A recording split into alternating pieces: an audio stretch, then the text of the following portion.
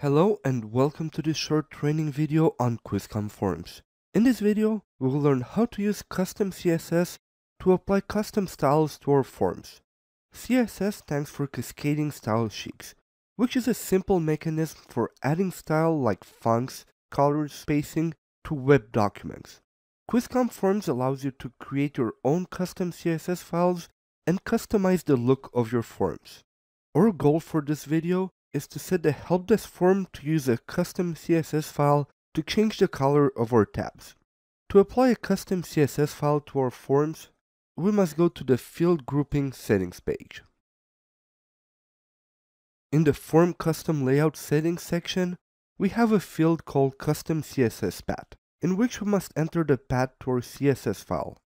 If you want to see the instructions on how to create your CSS file, you can click on the sample CSS file text and a new tab will open which explains the designer guidelines and explains how to build your CSS file.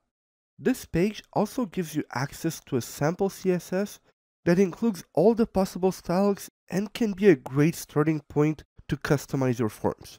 We have the first section which changes the background color of the tab and you can also change the color of only the first tab in the second section.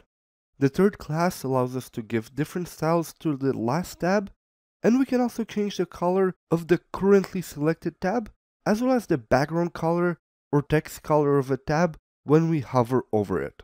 The last example on this page can change the text color in SharePoint on hover. Let's download this file on our computer and change some colors. You can simply open it using Notepad we could change the form tab style, for example, instead of the current color to green.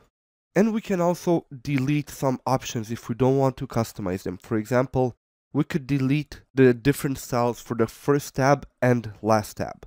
Lastly, we can change the selected tab style, for example, from light sky blue to gold, and let's save it. Afterwards, we need to upload this file into SharePoint. So we could upload it to somewhere like, for example, the site assets library. Let's upload it, choose file, sample CSS. And after we upload it, we need to get the link from the file and paste that link into the custom CSS path into the field grouping settings page. I will then click on OK. I will go into the help desk form and let's look at the results. As you see, the tab color is green and the selected tab color is gold. Thank you for watching this video on how to use custom CSS to apply custom styles to our forms on KWizCom Forms.